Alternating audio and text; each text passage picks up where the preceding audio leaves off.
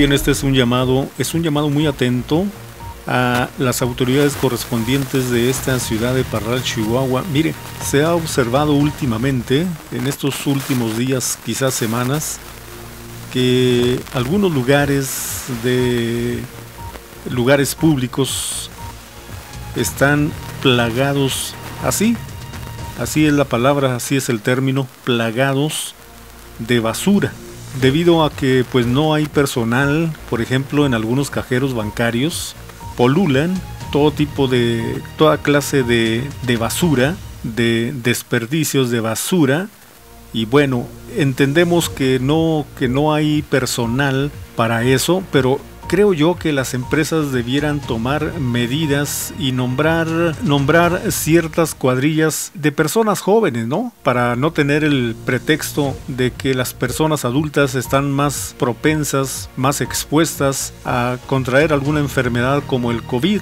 como el COVID-19. Sin embargo, pues al parecer no hay quien haga limpieza. Contraten los bancos, los lugares eh, públicos, con el fin de que no se acumule tanta basura y sea pues más insalubre aquel sitio, aquel lugar, aunque las personas vayan con mascarilla, pues la verdad se exponen un poquito más pues algún germen, algún patógeno, algún virus, alguna enfermedad por contaminación, etcétera, etcétera. Eh, donde sí nos llama un poquito más la atención es que en la explanada, en algunas partes de la explanada de la misma presidencia municipal, se encuentran, además de pañales, servilletas, papel de baño, este, me da pena decirlo, pero condones, preservativos, cajitas de, de potenciales sexuales. Caramba, pues ya al rato hasta jeringas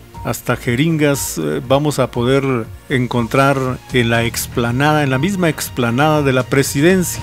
Repito, presidencia municipal, servicios públicos, debiesen eh, nombrar algunas comisiones jóvenes que les paguen actualmente tanto desempleo que hay, bueno, pues pagar a ciertos jóvenes para que hagan la limpieza no diariamente, sino por lo menos cada tres o cuatro días, ¿no? Ya, ya cada semana estaría bien. Este es un llamado de atención solamente. Entendemos que la situación pues está muy problemática, muy adversa. Sin embargo, podemos hacer algo para que no se extiendan más los contaminantes en, en nuestra ciudad, en nuestra región, poner también como gobierno y como eh, y como personas, como habitantes de esta comunidad, pues poner también nuestro granito de arena. Eh, paso nada más algunas eh, fotografías en esta información. Eh, no quiero exponer ni mucho menos, por ejemplo, a los cajeros bancarios o algunas otras tiendas de acceso público, pues nada más para que les pongan atención, se les ponga atención a esta problemática de basura en algunos, en ciertos lugares, no en todos, pero en ciertos lugares, pues sí hemos visto un incremento en la contaminación en la basura.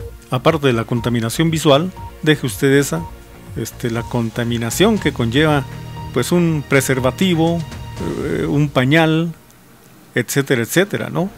E incluso, deje usted, incluso también se han observado cubrebocas, mascarillas. Imagínense nada más el foco de infección que puede resultar, eh, pues estar expuestos cubrebocas, mascarillas, además algunas botellas quebradas. Es un desorden, ¿no? Es un desorden en cuanto no a la autoridad. La autoridad tiene una parte, es un desorden, la verdad, en cuanto a la actuación este, la falta de educación, de ética de, cada uno de nosotros, los habitantes de Parral, Chihuahua. Aunado a tanto, tanto perro que, que dejan sueltos los dueños y van y hacen sus necesidades al aire libre en las banquetas, en las calles.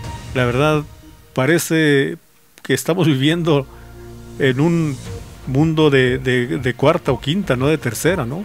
Lo, digo con todo respeto, señoras y señores. Aparte, déjeme decirle que, que, los, los empleados, los empleados del municipio, en este caso de servicios públicos de, de la basura, del servicio de la basura, de la recolección de basura, pues sí, hacen su recorrido habitual, como ya estamos acostumbrados, pero siempre eh, no es nuevo esto, siempre han dejado tirada más basura de la que recogen.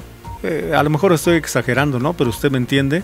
Eh, los botes los avientan, los recipientes de la basura los avientan pues a donde caigan, a veces a media calle.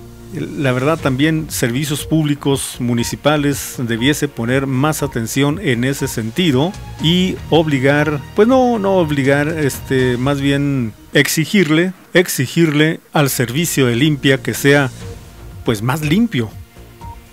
Aunque se oiga un poquito paradójico, ¿no?